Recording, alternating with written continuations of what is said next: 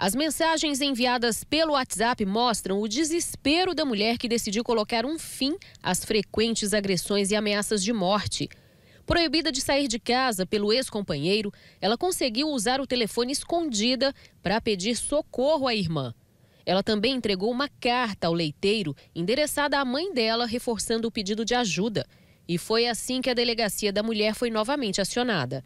A mulher agredida viveu por três anos com o ex-companheiro na cidade de Goianésia. O casal teve dois filhos, um menino e uma menina. Mas em março deste ano, ela decidiu procurar a polícia para denunciar as frequentes agressões físicas e verbais praticadas pelo companheiro, que também a ameaçava de morte.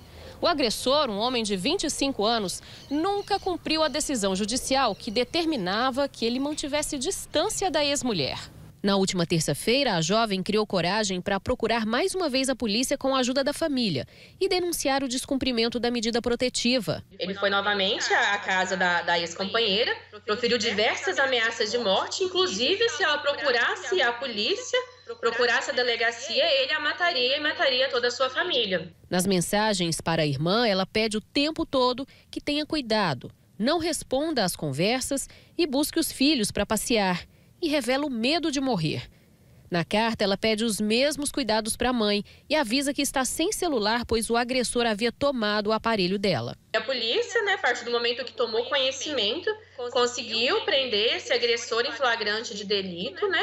e autuá-lo pelos crimes de descumprimento de medida, ameaça e vias de fato. A Polícia Civil também representou pela decretação da sua prisão preventiva. Estamos aguardando agora a decisão do Poder Judiciário. O juiz Vitor Umbelino, que atua na Coordenadoria da Mulher do Tribunal de Justiça, explica que 90% das vítimas que possuem medidas protetivas acabam protegidas de um desfecho mais trágico, como a morte. A orientação, então, é pedir essa medida protetiva de urgência, aquela mulher que tem essa necessidade.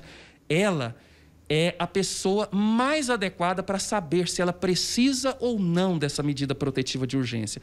E é essa medida protetiva de urgência que muitas vezes pode salvar a vida da vítima. E o agressor que descumpre a decisão judicial está sujeito à prisão preventiva. A mulher também que procurar um juizado de violência doméstica contra a mulher e denunciar esse descumprimento, é, o juiz ele vai receber esse pedido, vai dar vista ao Ministério Público e pode sim decretar a prisão preventiva desse suposto agressor nos casos em que ele não for encontrado ali no momento em que o fato ocorreu pela autoridade policial. A Patrulha Maria da Penha é outro mecanismo de proteção à mulher e foi criada para acompanhar o cumprimento das medidas protetivas de emergência.